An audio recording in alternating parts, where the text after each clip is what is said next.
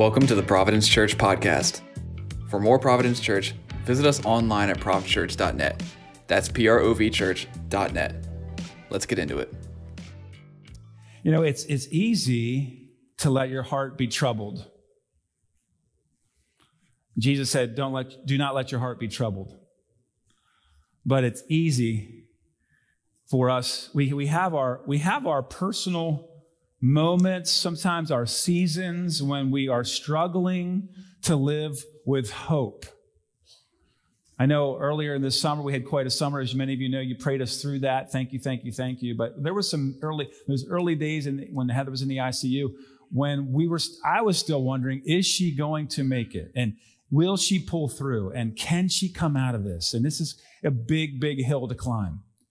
And praying, yes, but also, wow, God, this is, this is a big deal. This is a heavy situation that we're confronting right now. And so you have moments in your life when you face something perhaps sim- not the same thing, but something similar. And you wonder. Maybe those of you who have lost a spouse or lost a child or you had to endure a divorce and it left you feeling, well, how are we going to get through that? How am I going to get through this? Um, lost a job so suddenly, you know, you work and all of a sudden it's not there anymore. Now where? Or you get a really hard diagnosis from a doctor. You went to a doctor's office or a hospital and it's like, wow, this is going to be a major, major league. And so we have, it's easy to let your hearts be troubled. And also, on top of that, we also live in a world that is filled with an ever increasing sense of hopelessness. And it wasn't long ago we were praying for the folks in Hawaii, the wildfires that ravaged the island, and a hundred more more people died, lost their lives. Then, of course, this past these past couple weeks we heard about the earthquake in Morocco, and over 2,500 perished in that earthquake. And now this past week, floods in Libya, and uh, over now over 20,000 may have perished in that flood. It just swept the whole town away. I was actually praying the other day, thinking about what if, what if a flood just, I was, th- God, this is how God sometimes speaks to me to make it personal. What if a thing, something like that happened in Quarryville just swept off the map by a flood, raging flood waters. And there goes the whole town and whole family. I mean, wow. Like it, it, it really makes it up close. People are suffering today. Jeremy prayed in his prayer for the families in Oxford, right down the, the road, you know, a, a neighboring town and, and uh, devastating fires this week. There's the grinding war in Ukraine, and it's out of the news. You've noticed it doesn't make as many news headlines as it did a year ago, but they're still fighting. There's still people ki- being killed and still slogging it out, side and missiles and bombs and loss of life and fear and desperation in Ukraine. There's the scourge of international terrorism. It hasn't gone away. Haiti, I mean, Jeff used to get into Haiti regularly and hasn't been to Haiti in several years. It's just that bad. You cannot get in safely to the country. It's chaos. Gangs rule. And it's awful. There are deep racial divides still in this nation. There is political wrangling that are facing another budget showdown here in the next couple weeks. Will it get passed? A lot. There is so much fear and uncertainty and a heaviness that pervades in many people's lives. And it is a significant moment for the church to rise up I like to say to people, these are great days to be alive, great days to be the church because of the, de- the desperation and hopelessness around us. We have something to offer.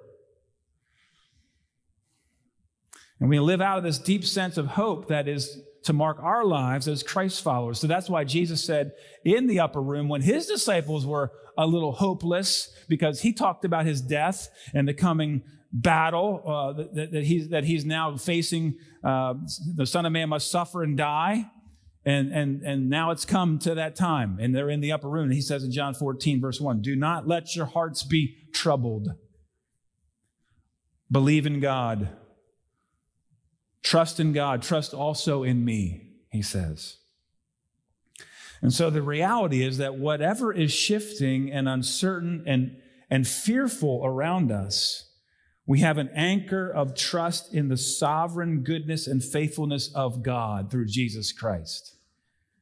And we are called as his people with a great, with great love and compassion and genuine hope to invite others to grab on to him. Grab on. I mean, that is in some ways that we'll, we'll, we'll pare it down. That's some way, the simplicity of the message. Grab on to him. Take hold of him. Put your faith in him. Believe in him. Trust in him, right? Hmm. In fact, let's declare it this morning. The mission of the church has always been to bring hope to people all around us who long for something concrete beyond the circumstances that they encounter. Because we encounter a lot of things in our lives, some of which I mentioned earlier, a lot of things that are unsettling and, and we make us wonder and cause our hearts to race and, and feel troubled. And so God, give us some concrete to hold on to while, while we're going through those things. Because we will go through those things. Give us something to hold on to, someone to hold on to. And here he came. The Son of God, the Son of Man. So, core value number two, we're in this series. We just started last Sunday. Last week, again, number one, it's not about us. We honor God and His mission above all else, His glory. We talked about the importance of His glory, proclaiming His glory. This morning, core value number two, it's about bringing hope. What is our church about? Bringing hope. We go out of our way to reach people where they are. And this morning, we're taking our cue from the one who is our hope. And so, John chapter 4, if you have your Bible, I invite you to follow along this morning as we read a passage that is familiar for sure. Many of you will know this passage. You've heard it, you've read it. But this woman who is thirsty, and she's not just thirsty for water. She thinks she is, but she's actually has a much deeper thirst. And Jesus is going to speak to her about that this morning and us. So, verse 1 the Pharisees, John chapter 4, the Pharisees heard that Jesus was gaining and baptizing more disciples than John. Although, in fact, it was not Jesus who baptized, but his disciples. When the Lord learned of this, he left Judea and he went back once more to Galilee. And verse 4 Now he had to go through Samaria. So he came to a town in Samaria called Sychar near the plot of ground Jacob had given to his son Joseph. And Jacob's well was there, and Jesus, tired as he was from the journey, sat down by the well. It was about the sixth hour, so that's noontime, middle of the day. And when a Samaritan woman came to draw water, Jesus said to her, Will you give me a drink? And then John notes in parentheses, his disciples had gone into the town to buy food. So he was now one to one, alone here at the well. And here's this woman.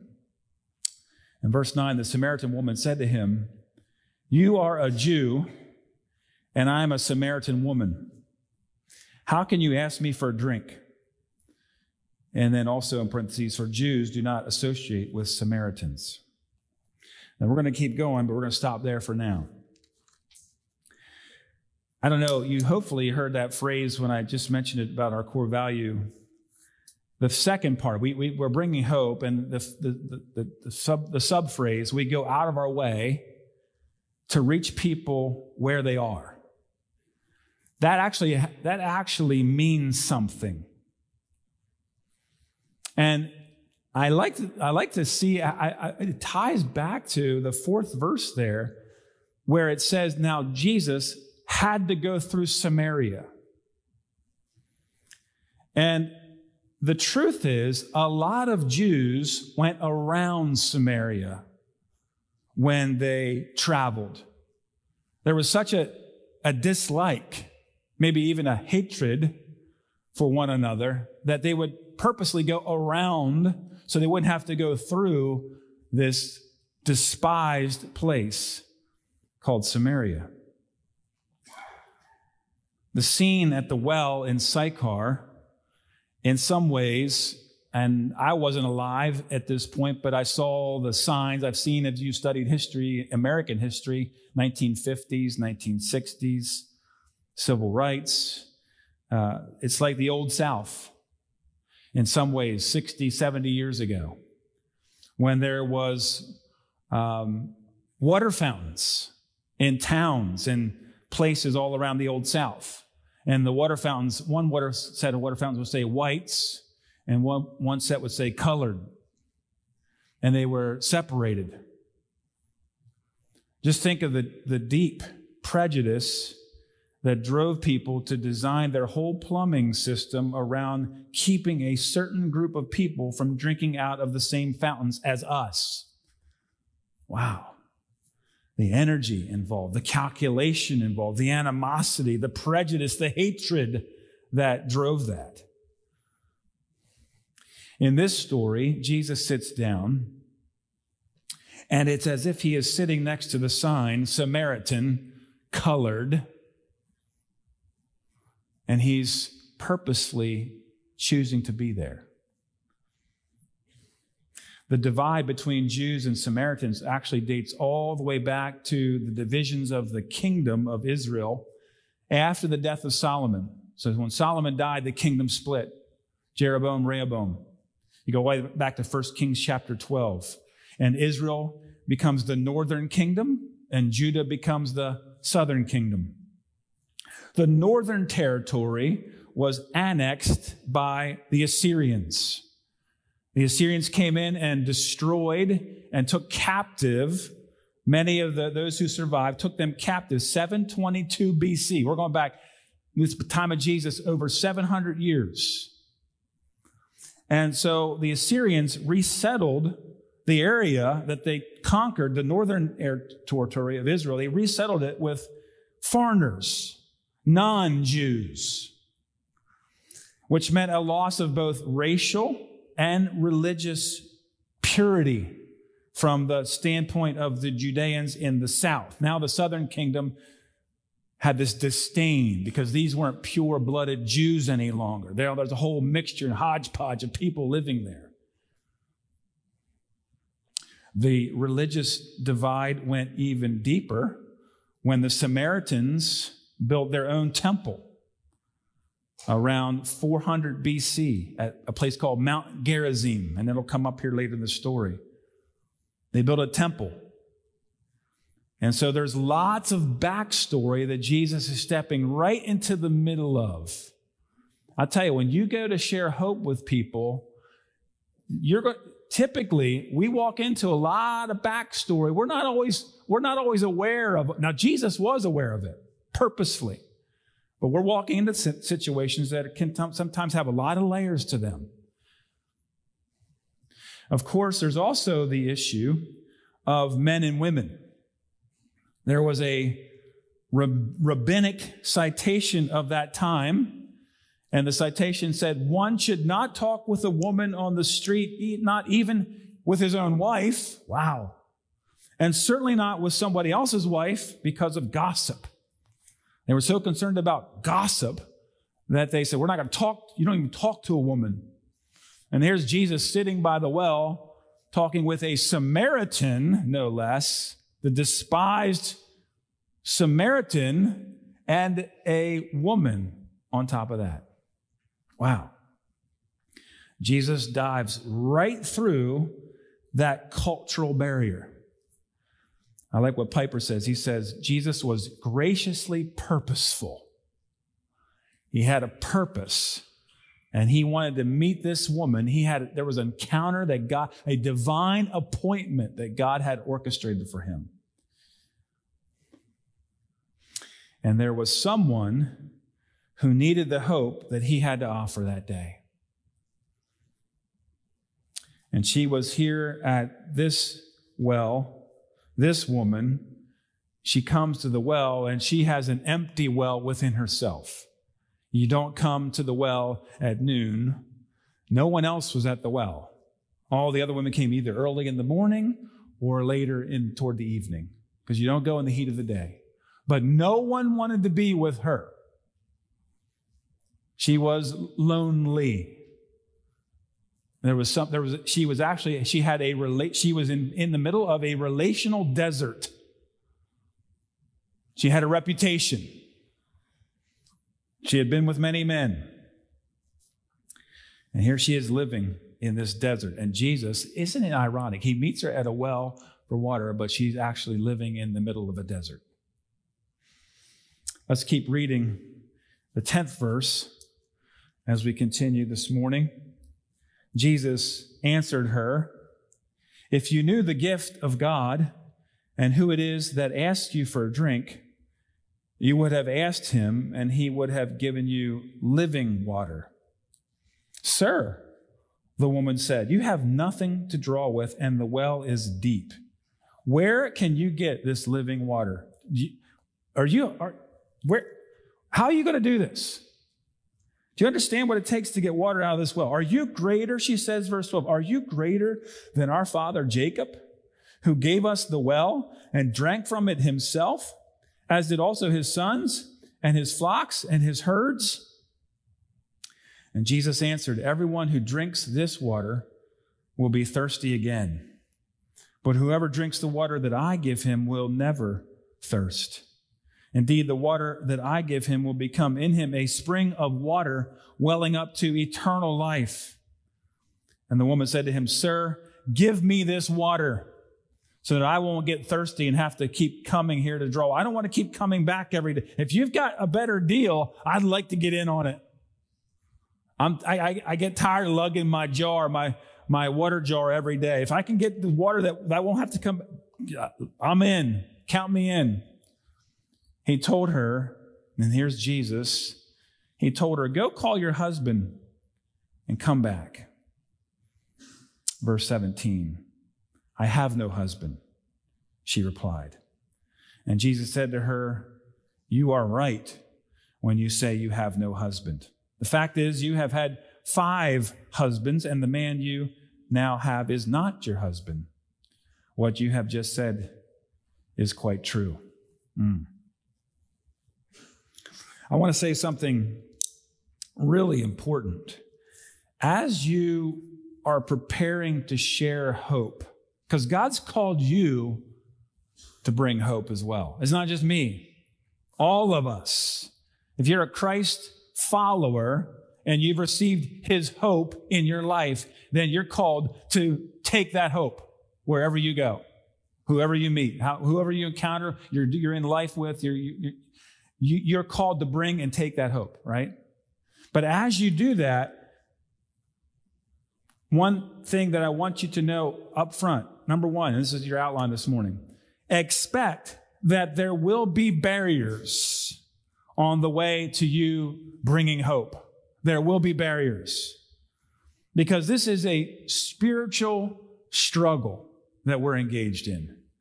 We have an enemy who doesn't want us to live with hope. He wants to keep people discouraged and disillusioned and in despair and bound by fear and bound by loneliness and bound by brokenness. So he will do anything he can to keep you from bringing that hope and that keep other people's chained and locked up. I was uh, at a an event Monday night. Monday was 9/11, right? So there was a some of you may have observed, observed that day in your own way. I was actually at a um, up in Akron area at the launching of a kind of a new, kind of a ministry uh, service for um, veterans who struggle with addiction and struggle with all kinds of some of the stuff we do at Celebrate Recovery. There's a there's a group that's committed to helping these men recover. And it was a great evening. And there's a, a friend of mine who's starting a thing called the Barracks. And his, his design is to have housing, transitional housing available for veterans who are coming out of uh, all kinds of brokenness and tough situations, PTSD and chemical substance abuse, and have beds for them and a place for them to, to sleep and recover and get healing and counseling. Awesome vision, great vision. I, I love Mike's heart on that. So he asked me to come and pray and, and, and be a part of that evening. And there was a guy there several men there, but one of the, one of the guys who spoke literally broke down into tears. Tough guy, like military guy. He's probably in his 30s now, I'm guessing maybe mid 30s, and he's been through a lot. And he, in that room of people, there's probably, I don't know, 20, 30, 40 guys and people in that room, and he, he literally broke down and talked about how he almost took his life a number, it's not that long ago, several years ago. And he, and this is a tough, this is a room full of guys that, I mean, the, the, the language in that room, you know, these, there's some sailors, right? These are some guys that have some, you know, they've been around the block. And between all that, this guy was being vulnerable to say, hey, I, I needed hope. And he talked about his faith. He talked about how important his faith is to him and how he has come through. Now he has a mission to, that's why he, he's living in Florida, but he was up in Lancaster to help get this thing kicked off because I want to go anywhere I can to help bring hope to people like you because I was there. I was there and I, I almost didn't make it. By God's grace, I'm here. And so I'm very passionate about doing this, what God's called me to do. But there's a lot of barriers on the way. In this account, the first barrier is the cultural, racial divide between Jews and Samaritans. I talked about that. But second, there is also the well or the barrier of pride. Did you, did you sniff that out? Verse 12. Because this woman says to Jesus, Are you greater than our father Jacob, who gave us the well and drank from it as well? See, so, so Jacob was the father, Abraham and Isaac and Jacob, right? And then, and then, of course, so that's the line. The Samaritans still had that line. Now it got broken when the kingdoms divided, but that was still the, the patriarch. Jacob was one of the patriarchs. Are you greater than Jacob? I can imagine Jesus just sitting there, you know, kind of like half chuckling. You know, yeah, actually, I, I pre-existed him. You know, I'm pretty much involved with all of creation. Um, you know, she doesn't know who she's talking to. He's like, here's, here's, here, here he is sitting at the well. Just, it's, it's amazing the things Jesus, uh, wow. I don't know if he, I don't know if he laughed inside or not, but it, I, I'm laughing thinking about it. She is communicating something. She's saying our religious heritage as Samaritans, our religious heritage is enough. Like Jacob's enough. And don't miss this. Many, many people will be hung up or stuck on a wall of some sort. When you go to people that God calls you to go to, there will be things that they get stuck on. Sometimes they get stuck on hurt and they've been hurt and wounded. And they're, they're, they're, they're, they're afraid to move forward because of the hurt. I don't want to get hurt again. I don't want to get wounded again or they're suspicious, or they have prejudice, or they have some kind of animosity. Or often what happens is they take up someone else's fight. I don't even know what I'm fighting about, but it's oh, I'm in with that. And so they don't have a, but they, they take up someone else's fight. The Bible reveals to us that we have three enemies the world, the flesh, and the devil, Satan. And all three are voices that work to keep us from living with the hope that Christ offers. And so Jesus refuses to be sidetracked. I love that about him. He is laser focused. He is willing to work through the, the layers that people lived under. This woman had a lot of layers, and he's very patient in this conversation, going through step by step by step by step. And I, so the question I have in my notes are, are, am I, are you willing to work through the layers that people live under? You know, there was a book that came out a few years ago, ago called Move Towards the Mess. And the phrasing there is, where does hope shine the brightest? In the darkness. That's why we're called to move into the dark. You know, we have, we carry the light and God's called us to move at times to move in toward. It's hard, but God help us because the light shines brightest in the darkness. And this woman's life is really messy. Really messy. It's interesting because Jesus in John chapter 3 had met with a religious somebody. Remember this conversation with Nicodemus? He's a, a leading religious elite, and he comes to Jesus at night to talk about these deep truths, these questions he had. John chapter 3. John chapter 4, he's meeting with a religious nobody in the middle of the day. A woman who has this reputation, who is all alone. She's living with somebody, but really her heart is just parched. She's burned through all kinds of relationships. Please understand this. At the core of bringing hope is learning how to love. Learning how to love people. Bruce Milne says it well. He says, simply put, Jesus loved her and was prepared to breach any, or excuse me, to breach age old conventions to reach her. Our failure in sharing our faith, and so our failures in sharing our faith are so often failures in love. Nothing is so guaranteed to draw others to share our living water than an awareness that we genuinely care about them. And so, God, help me to be filled with compassion. Help me to be filled with sensitivity. So when I'm with someone, I, I, you give me wisdom how to work through the layers, how to love them through the pain, how to love them through their hurts, how to love them through their suspicions and all.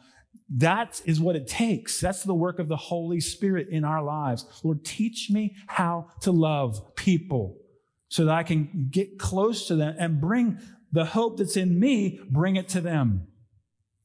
You. If we are bringing hope, what is it? Verses 13 and 14, I'll remind us again in that section. He said, Everyone who drinks this water will be thirsty again, but whoever drinks the water I give him will never thirst.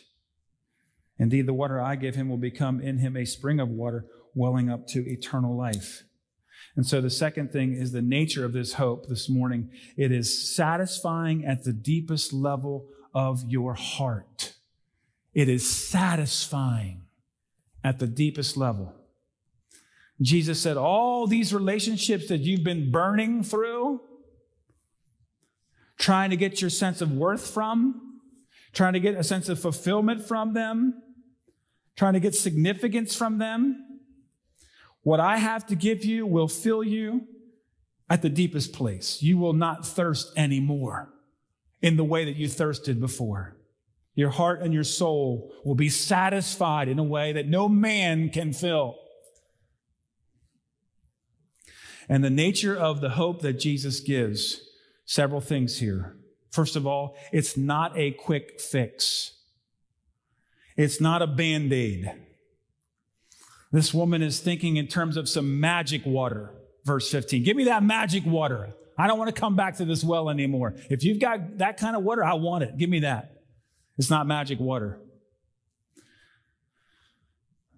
And so, what she was saying is what often uh, t- t- times we say as well. I'm tired of carrying this bucket. Right? I'm tired of carrying this bucket. I won't ask for a show of hands, but I would imagine a lot of us get tired of carrying the bucket. Whatever the bucket is in your life, that thing that you just feel like, oh, I just can't keep doing this again and again and again and again. It's heavy. It's hard. It's a lot. And I know that we all have buckets that we carry. So part of it is, Lord, help, help, bring, bring, help me in this. I want that. But don't miss it. A renovation of the heart is not a magic bullet. God wants to renovate your heart. He wants to restore your heart. He wants to renew your heart. He wants to transform your heart. It's not about magic water or a magic bullet. There's often lots of layers that need peeled away in that work. I was reading Dan Meyer here the other day. He said, It's hard to know the truth about people sometimes. He said, I think of the crusty surface of Mr. Barlow, a math teacher in my high school who we all made fun of for his abrasive ways and his flights of extreme anger. We never thought about what might lie beneath the surface of the man, the darkness and pain that might be there at the bottom of his heart shaft. The truth was that Mr. Barlow had once been a wonderfully affable man, and then he got a phone call that his wife and his children had been killed in a terrible car accident. The experience began a process in which layer after layer of anger formed over his heart like a hundred feet of limestone. He said, I know a woman whose life is like a perfectly manicured lawn. Everything is trim and bordered, not a hair out of place. There is every appearance of complete perfection in her life, although the very smoothness of it seems almost compulsive. What none of her neighbors know is the childhood she had, the shunning she experienced from one one foster home to another, the desperate longing she had for a real home, and a parent who loved her unconditionally. At the bottom of her heart shaft is a terrible fear that she can't make mistakes, that she must be perfect, or once again she'll be told to move on. And now she works feverishly to keep up appearances, drowning the pain in binges with alcohol and layer and layer over the fear. He said, I've also been driven far too much by something that got broken in my heart when I was very young. As the child of a very successful family, I absorbed the message very early on that I am what I, that I am what I do. My family never intended to shape my heart this way, but my heart developed around this message nonetheless. I came to believe that my virtue and value are directly related to how competent I am in getting good grades and speaking well and being a good athlete or a leader or pleasing people with my performance. It has made me a relentless achiever and a workaholic. I live with a relentless anxiety that I need, that I need to do more. It hurts my immediate family and my workmates too often. I wish I could get back down to the bottom of my heart shaft and really drink in the truth I most thirst for. That is, it's okay sometimes to produce nothing at all, Dan. Hmm. This work, this hope that Jesus Christ offers, it's not a quick fix. It's not a band aid.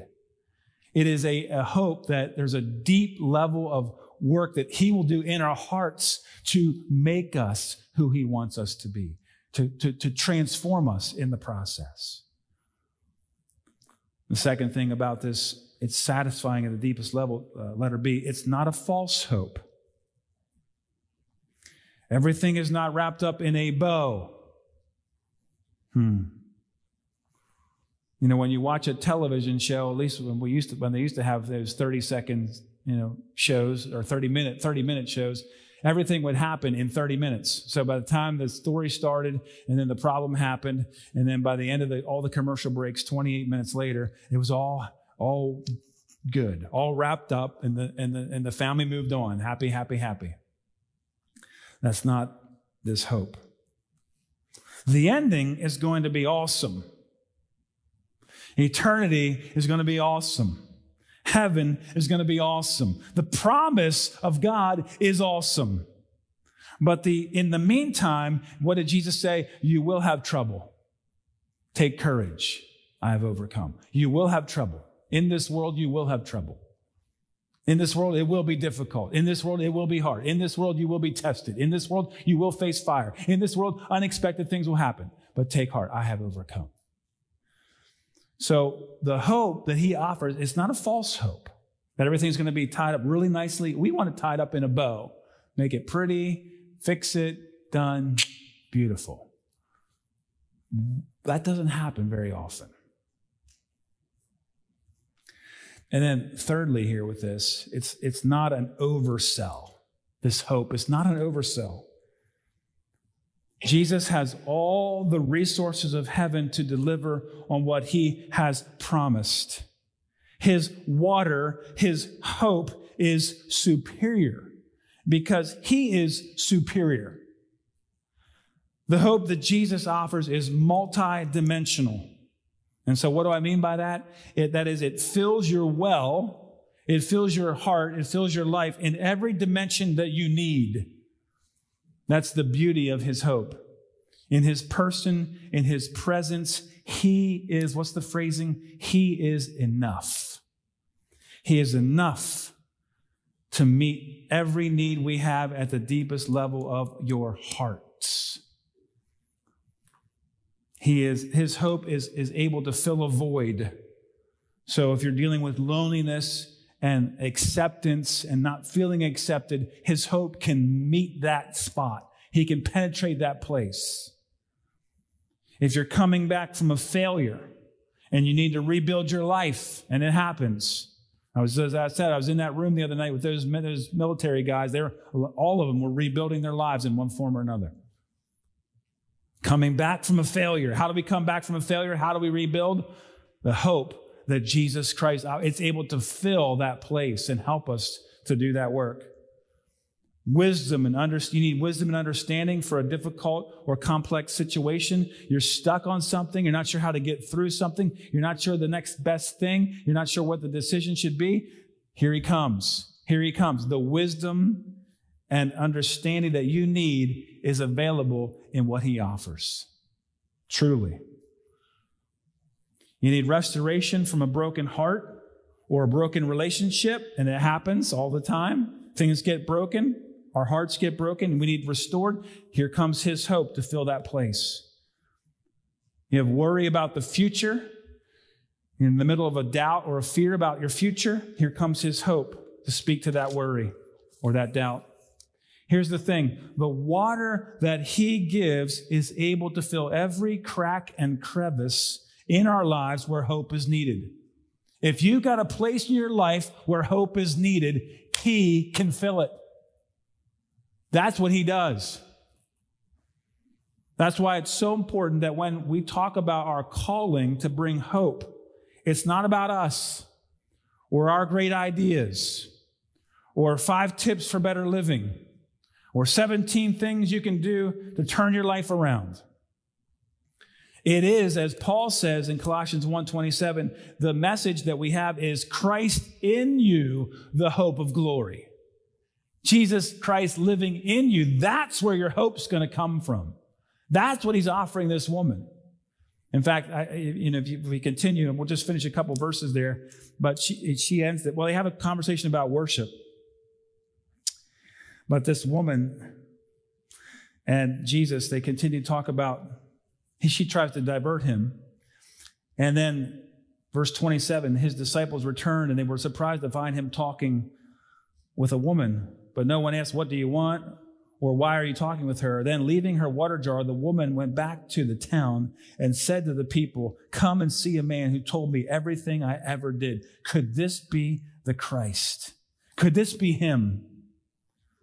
They came out of the town and made their way toward him. She, she was so overwhelmed by what this encounter with Jesus. She ran back to the town and said, Come on, he's here. You got to meet this guy. And so she has now already received the hope and she's running to share it with others. Come on, come, come on. You got to come out. Part of bringing the hope, don't miss this, part of bringing the hope is learning to believe it yourself. As you begin to allow the cracks and crevices of your life to be filled with Him and His hope, then you can share that with others in a genuine way, a humble way, a compassionate way. Hey, look what God, look what God has done for me. Look what Jesus Christ has done in my life. And you, that, that's, your, that's your story. That's where it comes from. Is His hope real to you?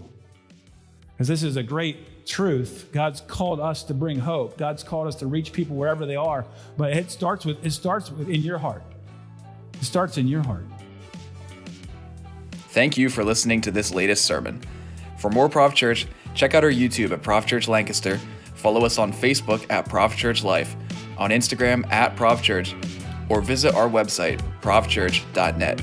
Thank you for listening, and be sure to make it a great day.